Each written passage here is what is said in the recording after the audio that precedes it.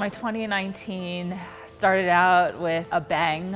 I had a horrific crash, which landed me in the ER, getting stitched back together and having to spend some really hard weeks living at my parents' house, getting taken care of. And it took a while for me to recover, but for six months I focused on racing at 70.3 Augusta.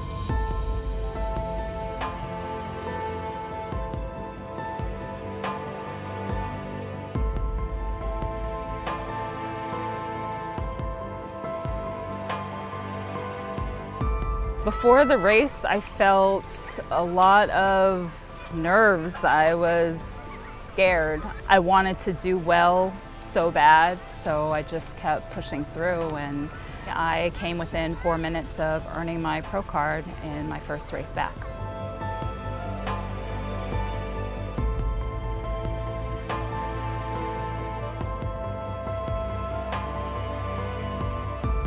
There's nothing like Kona. I have actually never experienced anything like this before. Um, being at a world championship race, everybody's really friendly, everybody is really fit. The expo is amazing. So yeah, it's just a once in a lifetime experience.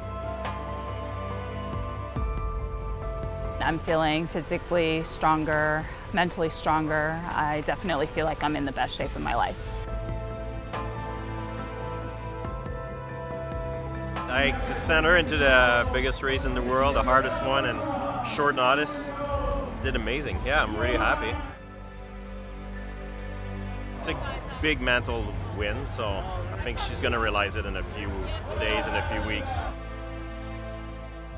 I'm exhausted but proud, and I'm an Ironman.